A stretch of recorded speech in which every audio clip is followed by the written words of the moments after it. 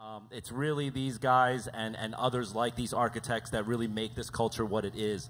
So, without further ado, I do want to bring these guys out. This is going to be the art of collaboration. These guys have all done projects that would fill a fucking telephone book, you know, of items, and we're going to bring them out and let them educate us on what's going on. So, everybody give a very, very loud applause. Errolson Hugh, acronym, John Elliott.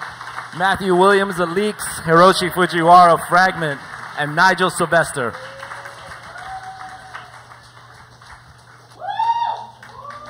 First up, Hiroshi Fujiwara, Nigel Sylvester, John Elliott, Errolson Hugh, scrub it this one. Matthew Williams, ALYX. Have a seat, sir. All right. So we're going to talk a little bit. I think one of the other things that I wanted to preface was that the way this room is set up was deliberate. I think usually when you come to a talk, you'll see like people up on a stage, elevated, 100 feet away from you. What we have here is we wanted to recreate like an office conference room setting. All right, so we are sitting at the conference tables. You guys are the attendees to our meeting, and we're just having a chit chat, and you guys get to ask questions at the end. All right, so that's how we're going to do this. So, art of collaboration. Thanks for thanks for coming out, everybody. Yeah, these are mics. You have to You? use these. We're low budget here. We don't have the Janet Jackson headset. Um, all right, so let's start with a very, very quick, uh, brief introduction on what you guys do, and we'll just go around the table before we get into the conversation. You want to start, Hiroshi? Oh, Yeah, you, you start. excuse me. Yeah, just start with a quick introduction Uh, what do you mean? of yourself. My name is Hiroshi Fujiwara. I'm here for talk about the art of collaboration, which I don't know. Maybe I've been doing like 30 years.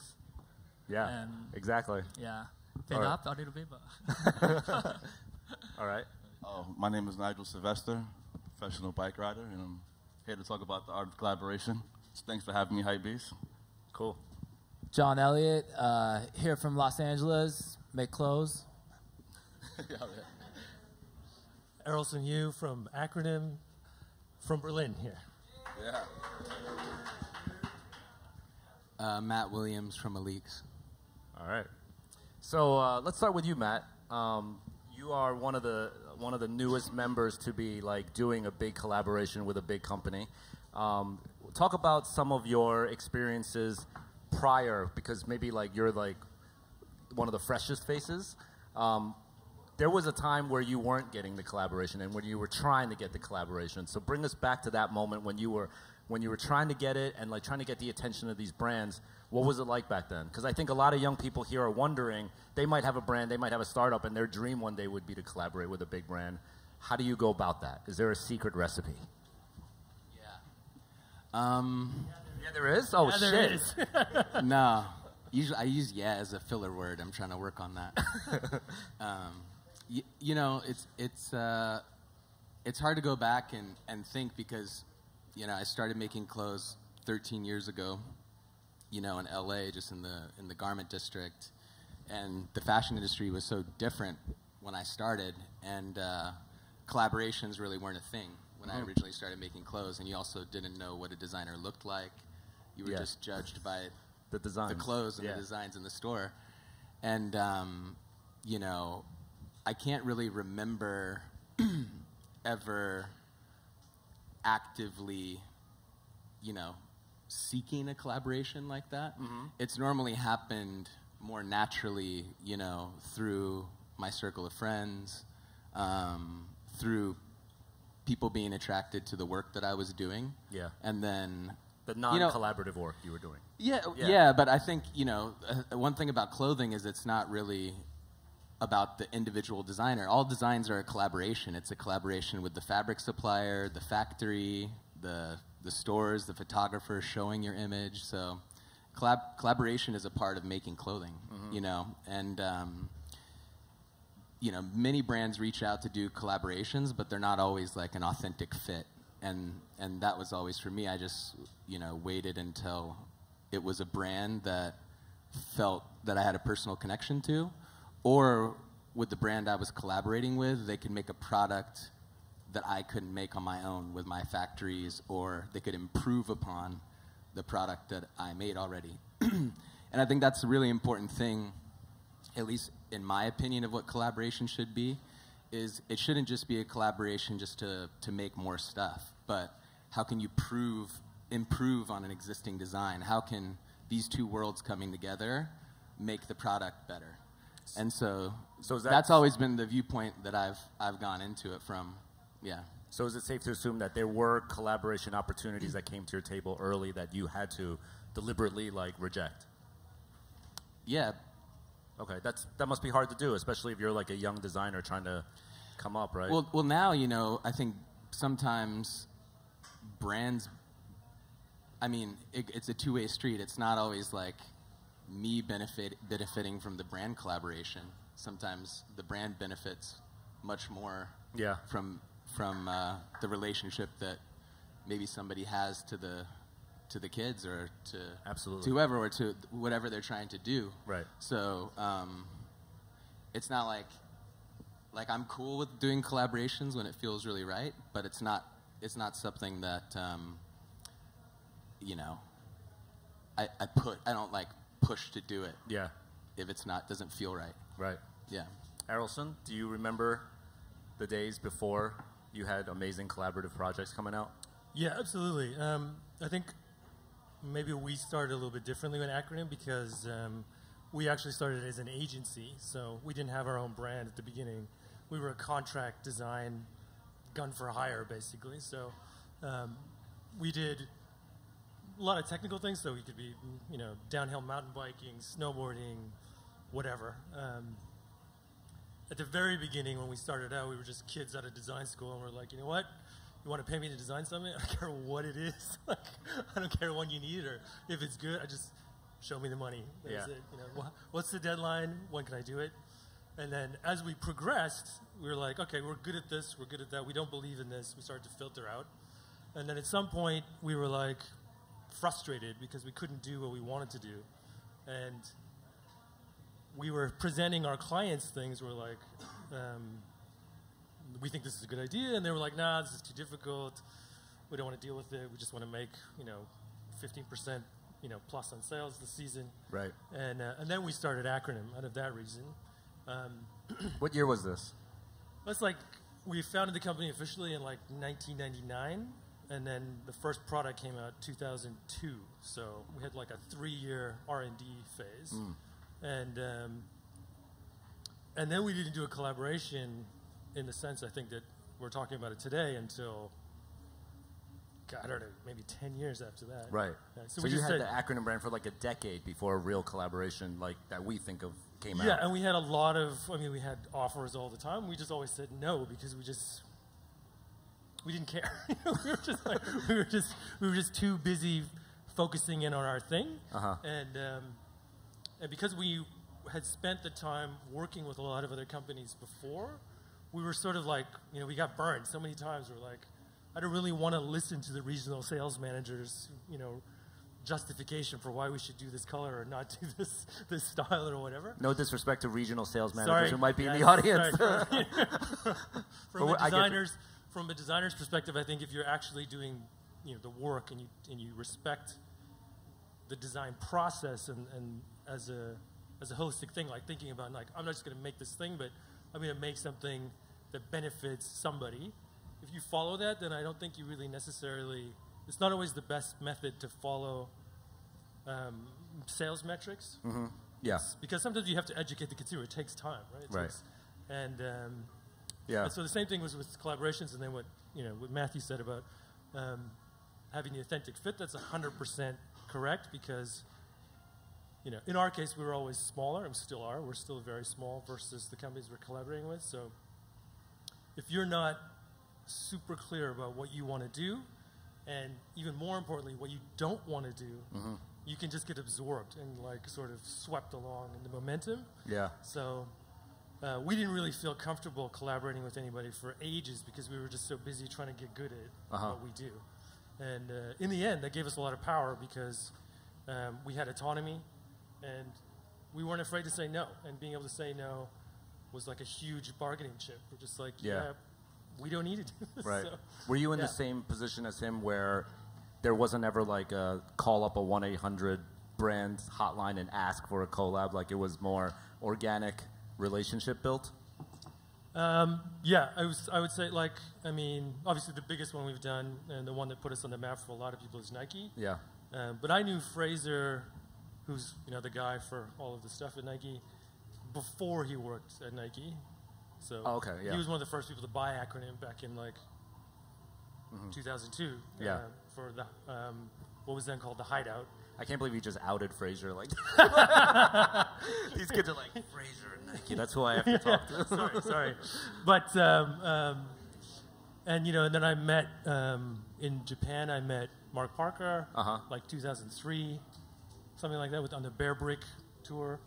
And uh, but we didn't actually start working together until 2013. Yeah. So it was super organic. 'cause we super just- organic, We just yeah. knew each other, and everybody knew what it, everybody else was about. Right, right. And Fraser called was like, you know, we should probably finally do something. Like, Uh-huh. here's this project we think could fit for you. Yeah. And um, that's right. what happened. So, right, right. Yeah. And I think a lot of young designers might make the mistake of like when they meet a key person and then they don't like immediately get like that invitation. Sure. They're like, man, fuck, like fuck him, you know, and then like they almost burn the bridge in, in essence. But like I think it takes a lot of patience. Like I mean, you said it took like years from the first introduction to the actual let's sit down and do something. You know, you didn't. You just did your thing. You didn't like take it personally or anything. No, not at all. I mean, we didn't even. It's also a different age, so now I think you can legitimately build a brand on collaborations, probably. You know, Mm. but um, because of what we do and the way we do it, we were just mainly focused on the craft, for lack of a better word. Yeah, yeah. And it's what we were trying to do is so hard Mm-hmm. that it just took all of our attention, and we just didn't have the bandwidth even to like Right. to talk about it. And I think the people um, that we now collaborate with, they responded to the effort that we put in. Mm-hmm. And so by the time we actually did get good at it, they were like, "Oh no, we want you for who you are. Yeah. Like we want you to do your thing with us." Yeah. And that's, I think, what makes a good collaboration is when two people who are good at doing what they do do some new thing that they couldn't do without each other. Right. Right. Cool. John, how, how old is the brand? The brand is now six years old. Okay. S- Almost seven. All right. And then from a collaboration standpoint, when was like in your mind the first big project that you embarked on? It was Nike. Um, that was our first real collaboration, and similar to Matt and Errolson, we were basically saying no up until that point, um, just because as a child, I I literally was was sketching sneakers and sending them to Nike, and that was kind of the north star. so. Um, I knew that I didn't want to affect the opportunity to work with Nike Uh-huh. up until um, it was official, and we we had the chance to uh, actually collaborate on Nike IDs um, for uh, a fall winter 2014 runway show. So early on, Yeah. and that was kind of like when the door opened, and then from there. Um, I think it's really important to be selective and to really only use collaborations as an opportunity to um, either tell a story or work on product that you wouldn't be have the opportunity opportunity to create yourself with your own manufacturing base. Your collaboration with Nike, which just came out like within the past year, what would you say? Right? Like when did it the first one come out publicly? Yeah, so we did the Nike Vandal, um, which was like the first official collaboration, Uh-huh. and that was uh, last spring, back in like uh, like May of last year. Yeah. And then since then, we've done the Air Force One, and then most recently uh, the LeBron Icon, um, which came out in August. Yeah. So you take yourself back to the time where you're like sketching shoes and submitting them to Nike. And then we want you to now work on a shoe with this guy we have named LeBron. How's that how's that feel? Yeah, I mean, obviously, it's it's unfathomable. It's uh, such an honor. It's like one of those things that you treat with such respect. And to be honest, it took us a long time to get to the final product. Um, just because we wanted to do, I wanted to do something new. I wanted to do right by LeBron. I wanted to make sure that there was LeBron DNA. Um, and we also wanted to make sure that it, it told a story and would have legs to uh, to continue. So, you know, it was one of those things where he was a, a fan of the brand, and um, we had the opportunity to do both apparel and uh, footwear. And I think the thing about working with Nike is it's you know it's kind of like the first time you step on campus, and I'm sure everyone here can relate. It's it's like uh, you go to Oz or you go Yeah. to like Willy Wonka, the chocolate factory. For me, at least, you know they you get to kind of go through some of their DNA, and and it for me it was like. Um, it just touched on so many little points in my childhood, and you know, for me, I'm I'm a I'm extremely dyslexic. So when I was a kid, um, growing up in San Francisco skateboarding, like I really only wanted to be able to get clothes for free, eat for free, and basically like control my own destiny. And that was all I've ever been ra- like razor focused on. And so to be on campus at Nike it was like um, really a dream come true. And was LeBron actively involved? Yeah. Oh, yes, absolutely. Um, he he is very opinionated, and you know he wanted to see something new. In fact, we were in a meeting um, with a bunch of Nike executives and uh, his team, and they presented what they wanted the project to be. And um, basically, when they were done presenting, he kind of pulled me aside and was like, "Fuck that! Like, tear it down, create something brand new." Wow. And um, I was like, "Whoa!" Like, who do I wow, listen to? yeah, like I mean, what what what should I do? And obviously, um, you listen to you listen to the king. Yeah, that's exactly. Nigel, so you come from a different perspective because you are an athlete first, Yeah. right? And I think traditionally, back in the day, like to John's time of what he was talking about, like when we grew up, we idolized the athletes, and in doing that, we tried to capture any portion of what they possessed, which was usually the footwear. And that's how a lot of sneakerheads got into sneaker culture in the first place, right? So you are on, like, we're just measly designers. You're actually out there on the battlefield, you know? And I think for an athlete, a traditional athlete, I'll say, basketball, football, baseball, it's like the dream to get a shoe deal. But you have a very unique position on athleticism, especially as it pertains to Nike. So I want you to share some of that too, like of how you are a action sports, extreme sports athlete that doesn't do the X Games and doesn't do the typical competition stuff. You just go on your own route. So tell them a little bit about that differentiation. Nah, for sure. So, um, been riding bikes my entire life, you know, and you speak about collaboration, and I think you touched on it, where it's like it's more than just brand to brand. It's like the photographer, it's the, it's the the fabric, all those different things. So for me, like collaboration started very early, like when I started to film, actually like put my tricks on camera. Yeah. And like one of my boys, the whole like a little like VHS, like VHS tape camera or whatever Uh-huh. the case is, and we're out at, at the park riding a bench or whatever the case may be. Right. And that was the first time where it's like, cool, well, I need to go and do my trick, but also you need to capture this the right way. Uh-huh. And then we'll sit down and edit that footage together and just put it on a DVD. Yeah. and I would give it out to my family members. like, check it out. You Yeah, know? yeah. Um, so like that was like pretty cool, Right. you know. Um, and then growing up, embracing a brand like Nike, like it was, it was there. It was, you know, it was, it was such a, it was, it was a brand that every, for all my friends, my family members, we had it in the household. It was like, cool, you have to get your kicks, you, have, Yeah. you know, like your, your uh, wind runner, like whatever the case may Mm-hmm. be, like whether it's back to school shopping or Christmas shopping, it was there. Right. It was like all the amazing athletes that I looked up to as a kid. A lot of them were Nike Yeah. athletes. How long was know? it into your career that you finally signed the deal with Nike? Not the collab, but like just An a sign that. deal. Yeah. Yeah, man. So for me, um, I had just turned 18 years old, Wow. and I went professional. I got Uh-huh. signed to a Nike, and I got signed to Dave Mirra's company at the same exact time. Wow. And for, um, for those of you don't know who Dave, Mirra is, like Dave Mirra is like the Michael Jordan of BMX. you know, he's greatest ever. Uh-huh. Yeah, yeah. You know, and so it, and so I, as as a kid, I grew up watching him and idolizing him, watching him on TV and stuff. So for him to give me that opportunity was truly incredible. Right. And then at the same exact time, like getting signed to Nike, What age was it again? You said I was 18. 18. Yeah, I was if you don't mind, how old are you now? I'm 31.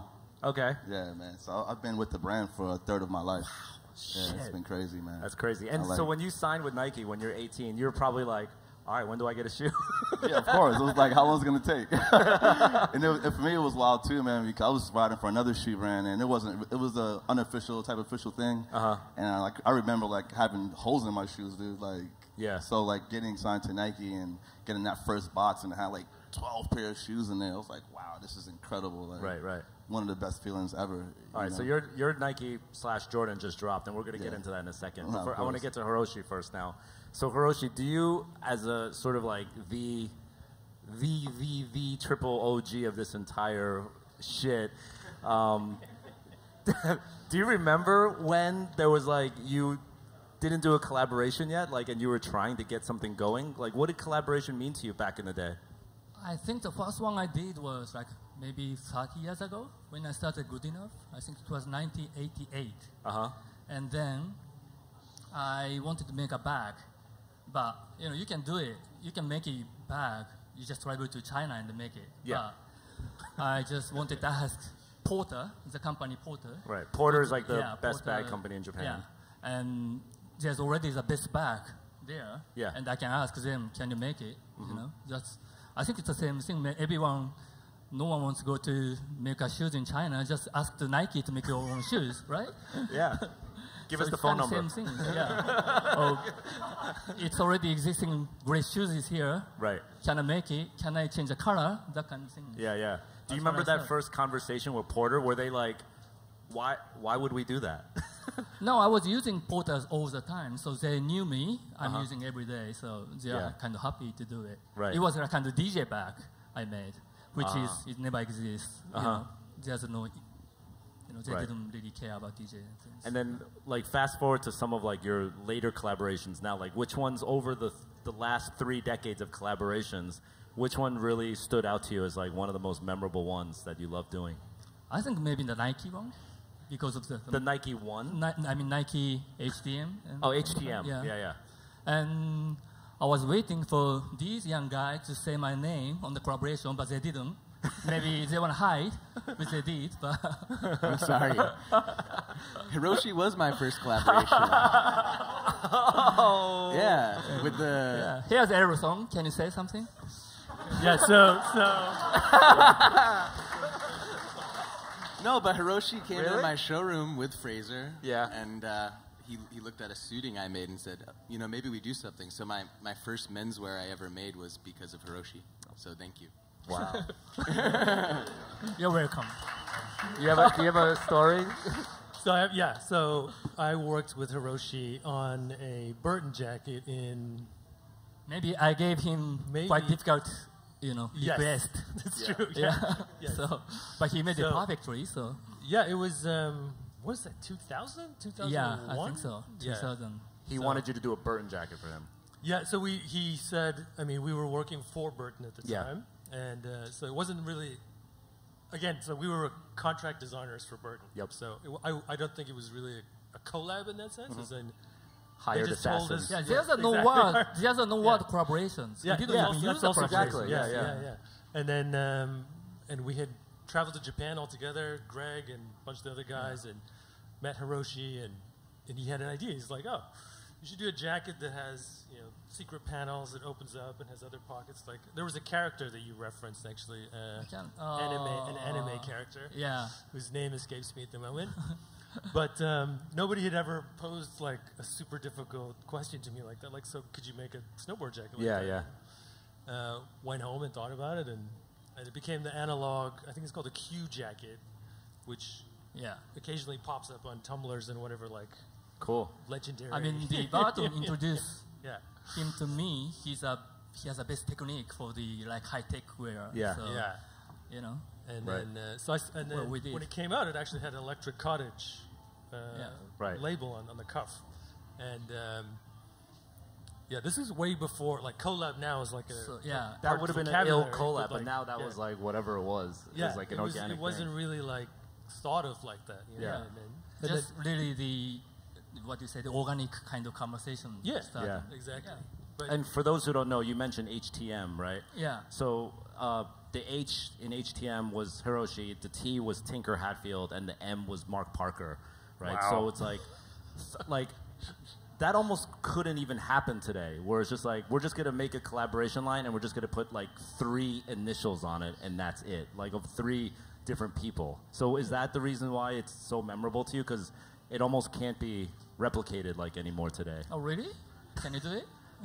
I don't know. I mean, I think I think companies now. Oh, I think it goes to the fact that back then collaboration was still so new Yeah. that they're just like, yeah, let's put these three guys' names on it like that, you know, and, and make it a whole line. Like I feel like now there'd be, it'd be it would have hundred employees in the first Yeah. day. I mean, when I started work for Nike, they were asking me to do just like changing color or things. Yeah. know. Yeah. I- I'm releasing these shoes.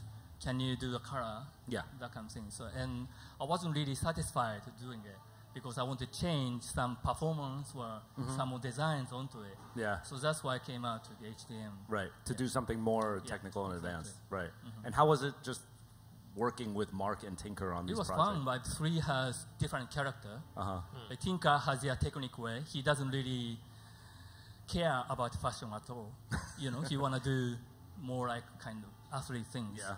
But I came from the fashion industries. Right. And Mark Parker is a top guy who can say yes or no so He cares about the, the money part. yeah, No, he, he's, he likes happen. product too a lot.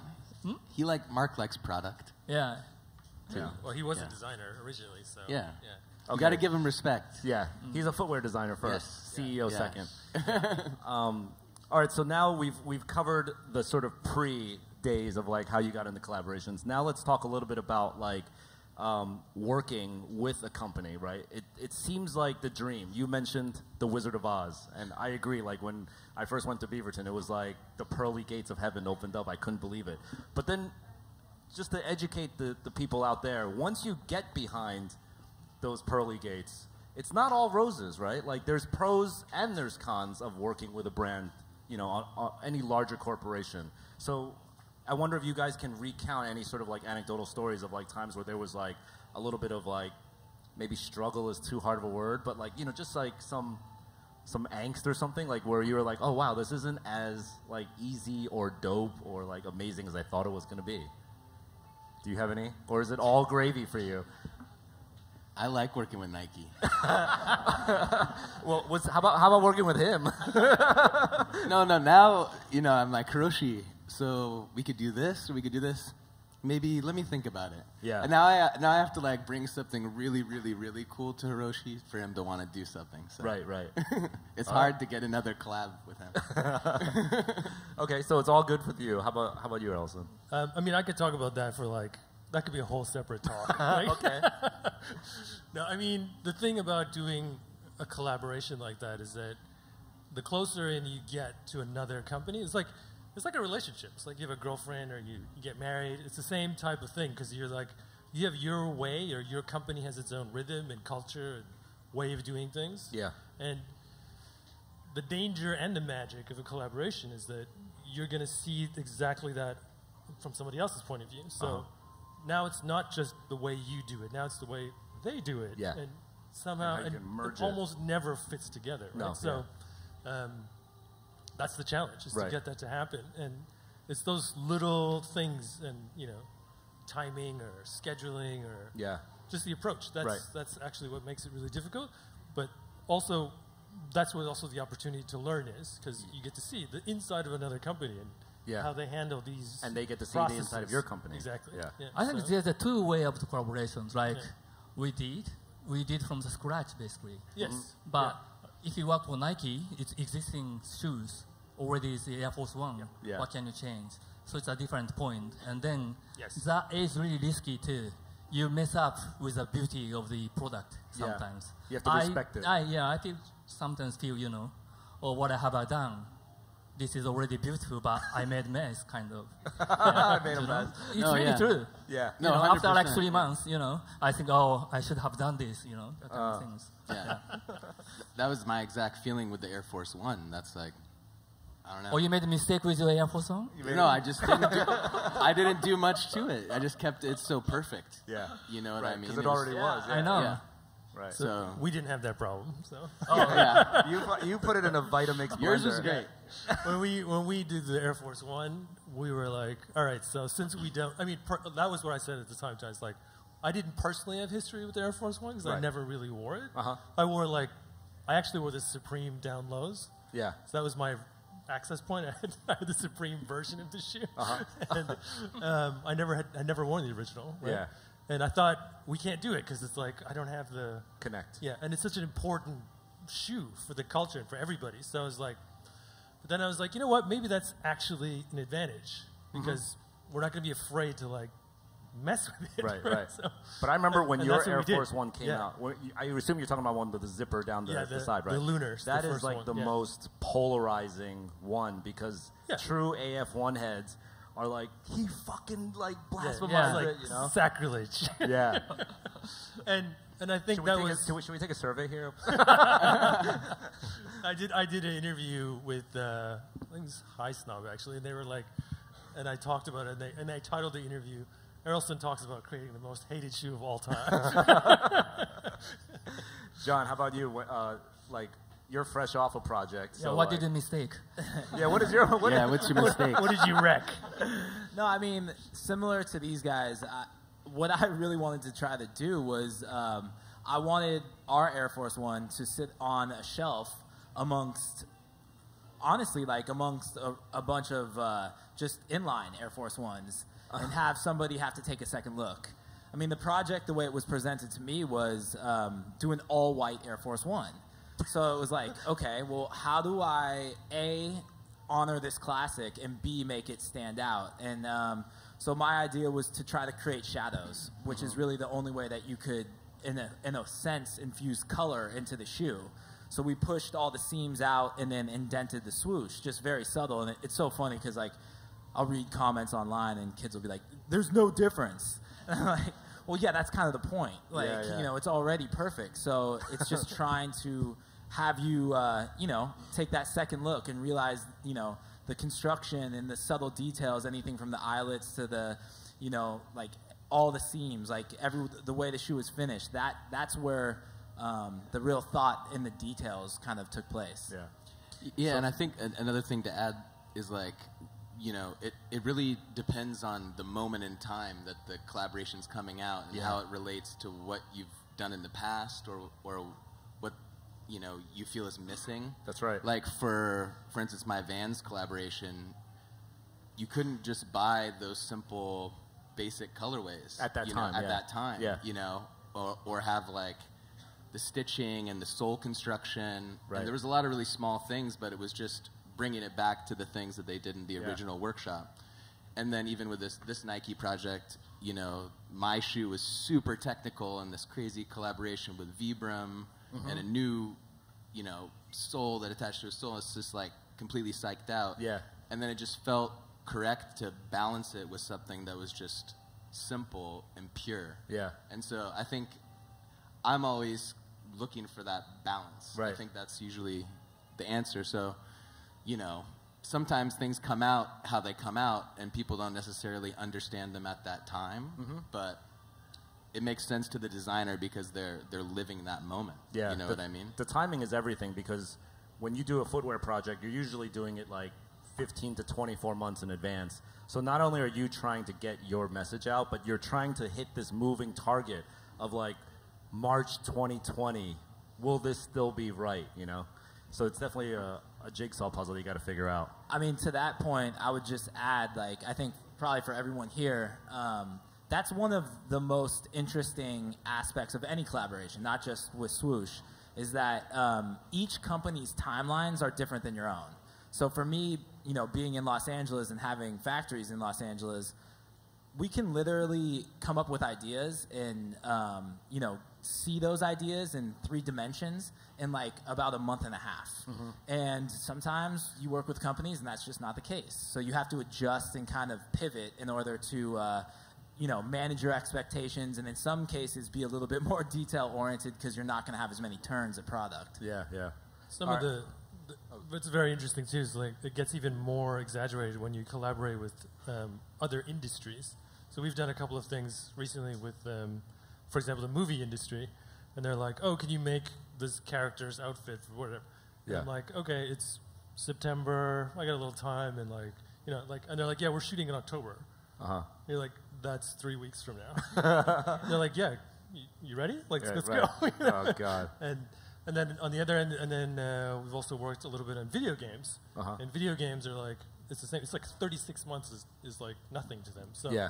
it's like you're like I'll ask them, okay, when's it coming out? And they're like, maybe 2019, maybe 2020. Mm-hmm. We Yeah. don't, it's too far. They can't predict it. It's so Right. it's so complex what they're doing. So Yeah. when you're trying to match that to like you know apparel industry, which is a traditionally a very seasonal, you know, steady rhythm, that for us that's super super difficult Mm-hmm. Yeah. because it's um, you're you're you're budgeting your team's time.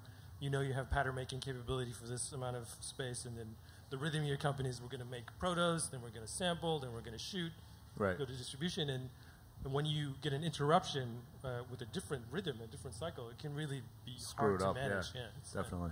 Yeah, and to that point, for us at least, like one of the most important people in our company is the person who manages the calendar. Honestly, Yeah, yeah. because For sure. like if your calendar gets um, kind of out of whack, like that's where you fall behind. You and lose that's a season. Yeah, it's unacceptable. Yeah. So Nigel, when you finally got the call, like you're gonna get a shoe, was it automatically the Jordan One, or you like had a say in that?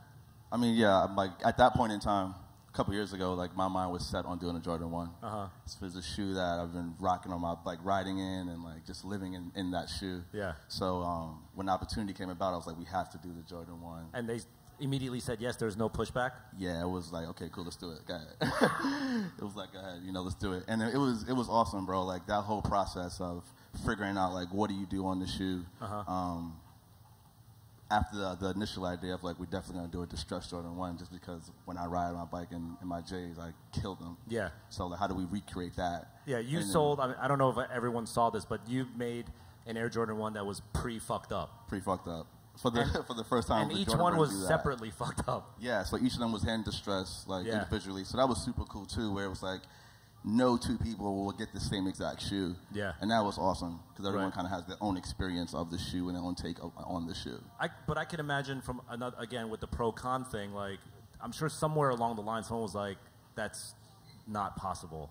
I mean, yeah, I've, I've I heard murmurs that certain people were like, nah, but, but we pushed it through, Uh-huh. you know, and um, the, like the the crew that was working on on the Jordan one, they all believed in it, and I believed in it, of course. Yeah. And it was, of course, you you have those those thoughts in your mind. Well, is this gonna work? Is it not gonna work? Uh-huh. But once put it out and see what, what would happen, and Yeah. it's a great response, you know. Yeah, and I think one other aspect of a collaboration that's super important nowadays, not only the product itself, but the release of it, right? So how it's dropped. Uh, I was in China, I saw about 30 different Errolsons, like, that they made in China, like m- mannequins. But with your release, like, you did a world tour.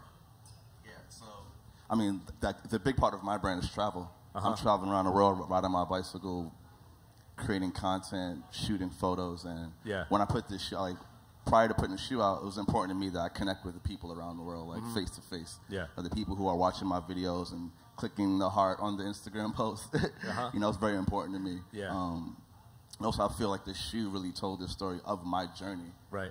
from the point I started riding my bicycle till now. So travel is a big part of that. Going around the roads is a big Didn't you do multiple cities in one day? Yeah, we did New York and LA in one day. I think that's, a, that's, that's world history, I think. Like, and, and you were at both Yeah, I was at both. I was at both. Cause you know what too, like New York being home and then LA being like the second home, somewhere that I've ridden my bike so many times. Yeah. Somewhere I've traveled to. Somewhere I have I have roots in LA as well. You know, Uh-huh. I've been going there for years. So I want to do like both cities, coast Yeah, to yeah. coast. Wow. Uh, Hiroshi, I want to talk to you about a new collaboration that you just did, which I don't think any of us have had a chance to mess with yet. But you did a convenience store. Yes. So what was your that idea? Huh? It's not really collaboration, but yeah. Okay, but you a lot of products in there were like Uh-huh. featuring collaboration. Yes. Why did you decide that like I want to get into something else that was like totally a different platform, like a conveni? Yeah. Uh, I don't know. I was looking for some new ideas, and then everyone does so many things. Yeah. And there was a maybe one thing no one really touched it. Right. And you're a big conveni fan. Yeah, I am. I did. If anyone's ever been to a Japanese convenience store, they're like, Yeah, the- Japanese convenience is different to your convenience, I think. Yes. Yeah. So. There's nothing wrong with our convenience, but yours is a lot better. The ones the ones in Berlin I call the inconvenience store. the inconvenience. After Japan, it's just like, really?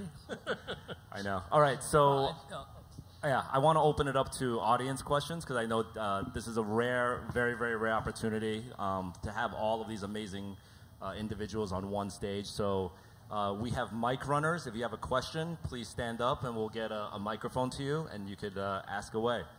Uh, there's a gentleman standing up right here. Question for all of you guys, specifically Mr. Fujiwara. What are your reservations of working with a young brand?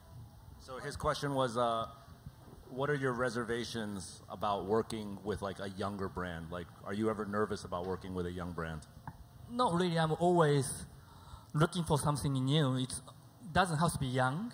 Can be old or can be, like I just said, a Pokemon. So, you know, just just anything. I want to keep a balance, which is if I do those luxury brand, I want to do something really underground also. Yeah, that's right. So, yeah. Not too many people did Moncler and Pokemon in the same month. that's what I want to do. yeah. Yeah. Uh, okay. Any other? I think that yeah, right here. Sorry for my shaking voice, because like this is my first time having seen. Okay, we're gonna make you more nervous by putting a mic in your face now. Go ahead. like this is my first time seeing lots of legends right right here but like i don't know if it accidentally or intentionally but all of uh, all of you right here have some relationship with nike uh, like Pure, it's a pure coincidence. yeah i don't know but like so does it mean like nike has something like really special like is art of collaboration that really attract you all like That's that a good. That's a good question. Uh, who wants to take that? Is there is there something special about them? Yeah. Nike has a history and archives. That's what I think. You know, when I, I start wo- work with Nike, they didn't really thinking about bringing bringing back the you know old shoes, like the standard shoes. Wow. So, you know, I told them, why don't you bring the dunk back again? That kind of uh-huh. things. They wanted to ask me to do a new things, but I want to do a bring back the old vintage shoes. That's what happened now, I think. That is such an OG statement. It's like it blows my mind. I think that's I think that's. I mean, they didn't even know what the dunk is. You know, I saw the dunk shoes. This is my favorite one, and then That's they cool. didn't even know. Like Nike Japan didn't know. it. right. So I think that's a hu- that's interesting to a separate thing, but um, the whole understanding that the the whole thing that we understand now as our industry or as as our culture is like how much of it comes from Japan. Like that vintage sneaker thing was happening in Japan like Yeah. before anywhere, like decades. Like, Yes. And then I, I remember being, you know, hanging out with the, the guys in, in, in Harajuku back in the day and seeing the first time like what we now think of as a collab.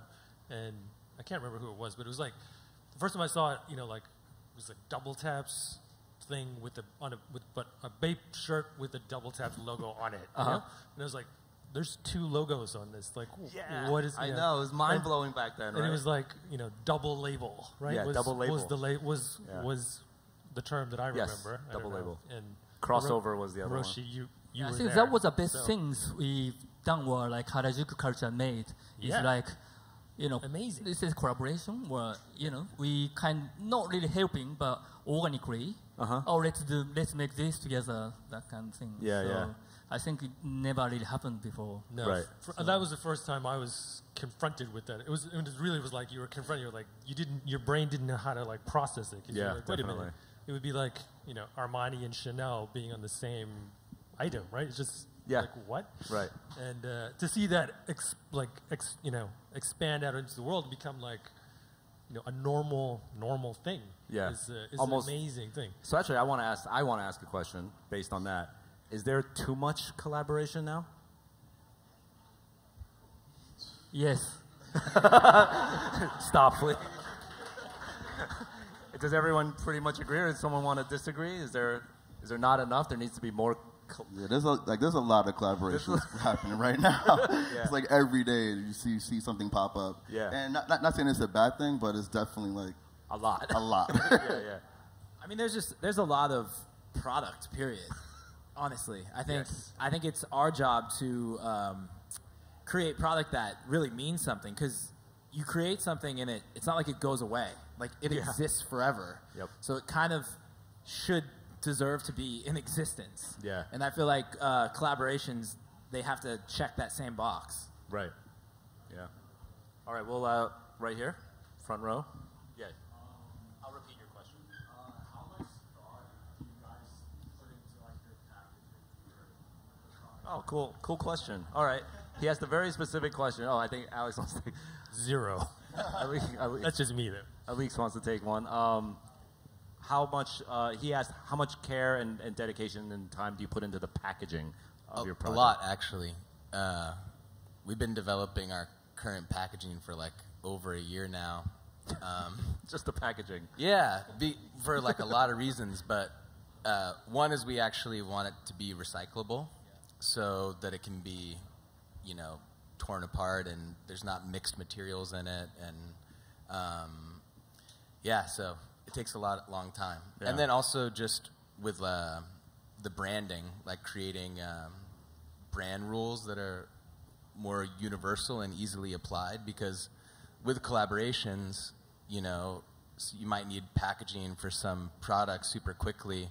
And for us, it's been great to, to create a system that makes it so you don't have to think about what the rules should be for the packaging, if that makes sense. Yeah. So the decisions can just be made for you, so you have to just spend less brain power on it.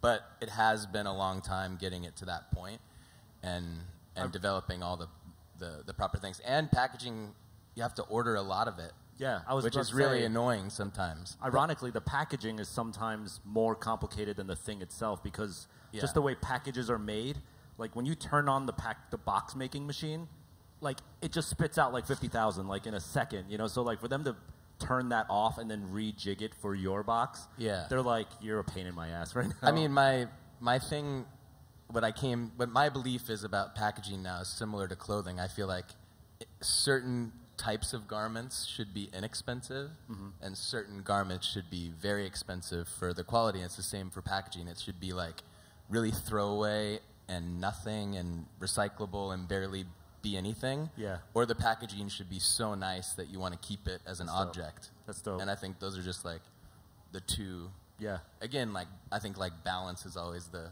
right. the correct answer to most everything, but just like a, a weird in the middle packaging that it just ends up just being more trash. Yeah, You know? that's a great philosophy.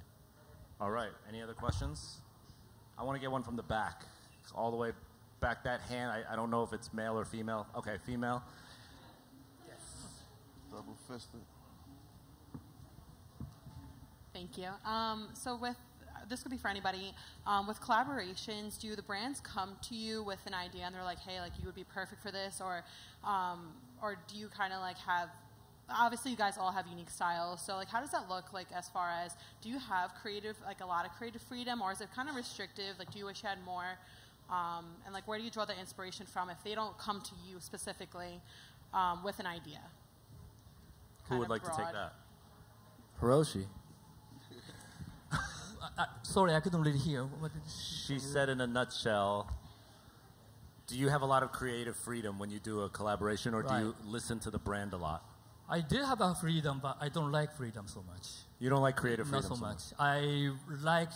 I'm kind of good at working with uh, kind of limited things. You know. Yeah. You can you, you cannot use this fabric, or you cannot use this style, and Uh-huh. I do what I can do best in this kind of small circle. So actually, when they say you could do whatever you want, yeah, you don't like I'm that. confused.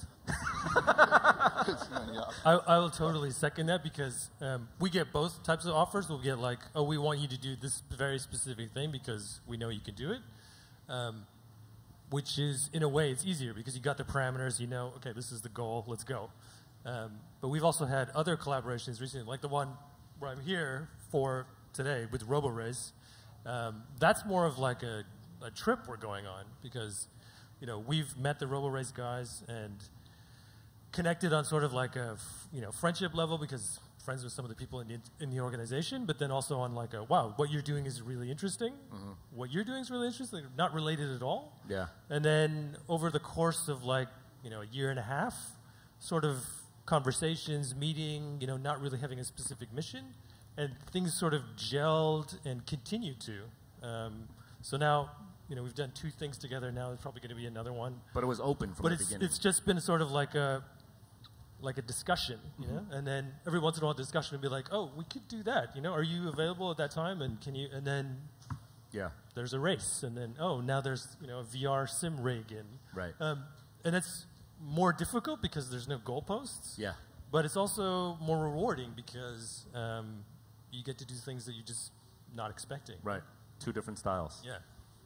All right. Uh, where's the mic runner right now? Oh, so let's get that guy in the back since you're back there. Flexing. Yeah. Flexing back there. Jealous.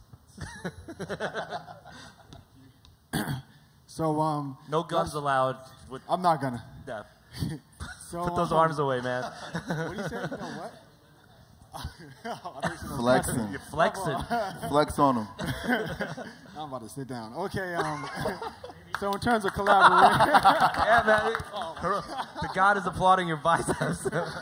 so um, in terms of uh, collaborations, I know you guys talked about uh, there might be too many right now, but what goes into a repeat collaboration? Are you afraid of saturating a product, or is it based on who you're working with? You like how their process is, so you're more inclined to repeat a collaboration? Because I know Wow. maybe um, hype might reduce with too many repeat products. So what would make you, you know, Yeah.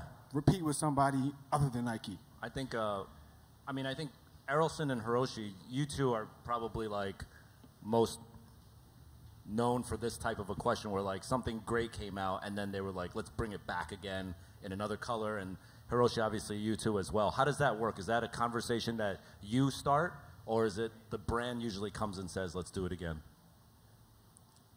Uh, I think it's you know time to time. And Yeah. maybe the brand says brand shows me the new stuff. Uh huh. Like Nike. Yeah. Nike. I often to go to the visit the Nike canvas, and Uh-huh. then they showed me the product for 2020 or 2021 for the Olympic game, that Yeah. kind of things. And then you wanna do it, that kind of things. And then Yeah. you say no. no, I'm just kidding. Sometimes. Okay. So one of our long-term collaborations is uh, with Stone Island, an Italian company, and we just did. Uh, this season now is the tenth year that we've been working together. So Mm. 20 collections, and it's an unusual thing because Yeah. it's. Um, like I said with with Robo Race, it's a it's a discussion. So it's almost like. Um, like you have two people and you, you know sometimes you, you're talking and you have you know, everybody's got their friends that they can just always shoot the shit with Yeah. and like you know and you learn about yourself in those conversations right? And i feel like it's the same thing with a, mm. a good long-term collaborator. It's an ongoing sort of back and forth. So and if that's authentically happening and you're both still learning then there's Yeah. really no danger of like you know making something stale When with Stone Island, was it like when you first started, they were like, let's get into a decade-long relationship? no we, you know so it was like year to year. Yeah, it's always been year to year, and it's it's still even now. Like now, now we'll be working. We'll be like, oh, we don't have a contract right now, do we? Like, oh shit, yeah, we better handle that. Right? Like, but because it's so natural, because it's, Yeah, it's actually an ongoing process. We have so much contact with each other. That's the best. um, that's the best kind. Yeah. yeah, that's that's the most authentic. I remember being interviewed by ID magazine. Where like, where do you see this collaboration or this this project in five years? And I was like, wow, that's a long time. You know, Mhm. like if we're here, it'll be because we deserve to be. right? Yeah. That and that's it. Because Right. you we all, you know we all know when you're you're creating something, you have it in your mind. You're not necessarily going to get there, right? And that's when you're making something by yourself. But Yeah. when you're working with somebody else, there's so many factors involved that could derail the process that have that that are just out of your control. Right. And um, so for something to continue for a long time, you know, part of it's just you know being in the right place, right time. Good luck in that sense. Um, but it's really like about you know really what the spirit of collaboration is about is, Yeah. is doing something you couldn't do by yourself. You know? Yeah. And All right. I think we have time for one last question. We'll go with. Oh yeah, let's go on this side of the room. Over here. The yes, you.